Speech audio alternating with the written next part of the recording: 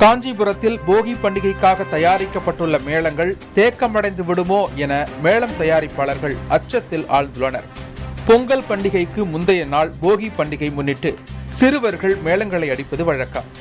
ஊரடங்கு கட்டுப்பாடுகளால் கடந்த இரண்டு ஆண்டுகளாக போகி மேளங்களை தயாரிக்கவில்லை என மேளம் தயாரிப்பாளர்கள் தெரிவிக்கின்றனர். இந்த ஆண்டு மேளங்களை தயாரித்து தயாராக வைத்திருக்கும் நிலையில் மீண்டும் விதிக்கப்பட்டிருக்கும் ஊரடங்கு கட்டுப்பாடுகளால் மேளங்கள் விற்பனையாகாமல் தேக்கமடைந்துள்ளதாக வேதனை தெரிவிக்கின்றனர் ஆண்டிற்கு பத்து நாட்கள் மட்டுமே மேளம் தயாரிக்கும் பணிகளில் ஈடுபடும் அவர்கள் மற்ற நாட்களில் செருப்பு தைக்கும் தொழிலை செய்து வருகின்றனர்.